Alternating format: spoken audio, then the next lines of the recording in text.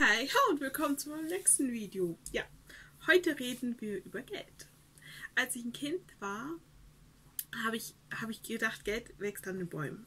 So wirklich metaphorisch gesehen habe ich gedacht, Geld wächst an den Bäumen.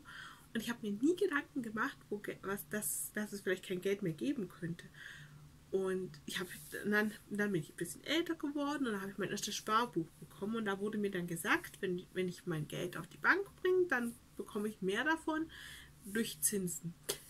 Alle, die übrigens wahrscheinlich das Video in 20 Jahren anschauen, Zinsen ähm, sind, sind sozusagen kleine Beträge, Prozente von dem, was du einzahlst, wo die Bank dir zurückgezahlt hat, damit, ähm, damit sie mit deinem als kleine Aufmerksamkeit, weil sie mit deinem Geld arbeiten konnten und ja, dann hast du eben was zurückbekommen wahrscheinlich kennen das in 20 Jahren Leute schon gar nicht mehr. Das ist eigentlich so abgefahren, wenn man sich das mal überlegt.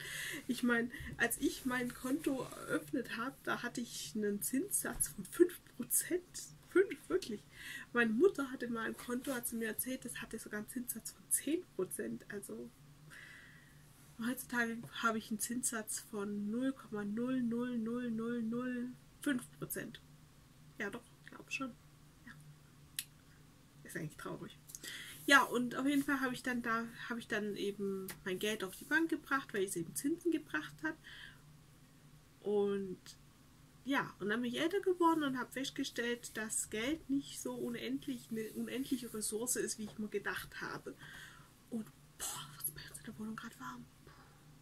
Ja, auf jeden Fall war es dann so, dass ich dann angefangen habe, mir Gedanken zu machen und wie alle anderen eben auch mich zu informieren. Und ja, irgendwie ist dieses Geldsystem an sich ernüchternd und wirklich nicht mehr das, was es mal war.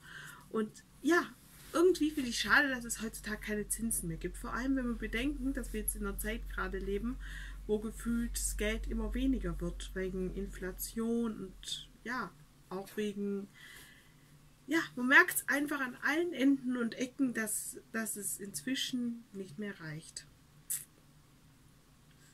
Und da wäre doch jetzt eigentlich der richtige Zeitpunkt, um Steuern zu senken und vielleicht, auch nur vielleicht, die Zinsen etwas zu, anzuheben.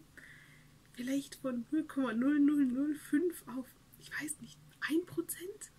Das ist jetzt, das bringt jetzt nicht die, das bringt uns nicht um. Und das bringt auch den Staat nicht um, aber es hilft. Es würde helfen. Vielen würde es wirklich helfen.